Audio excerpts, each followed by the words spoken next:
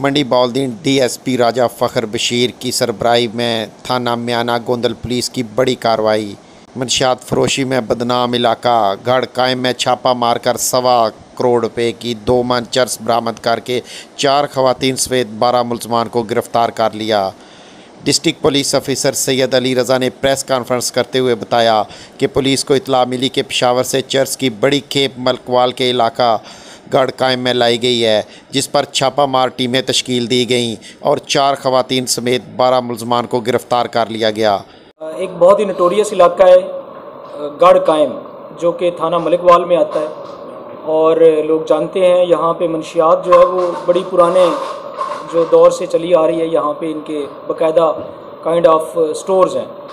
तो इस पे आते ही मैंने टीमें बनाई फोकस किया, हमने इसकी रैकी की। और यहाँ पे अल्हम्दुलिल्लाह, रात हमने बड़ा सक्सेसफुल रेड किया और दो मन चरस बरामद की है। यानी कि 80 किलोग्राम चरस बरामद की है वेपन बरामद किए हैं और 12 मुलजमान पकड़े हैं। इन मुलजमान में चार लेडीज़ हैं और आठ जो हैं वो मर्द हैं। डीपीओ ने कहा कि मनशियात फरोशी जैसे मकरू धंधे को किसी भी सूरत बर्दाश्त नहीं किया जाएगा। कैमरा टीम के साथ मुदसर रवान सन टीवी न्यूज़ मंडी बाउद्दीन।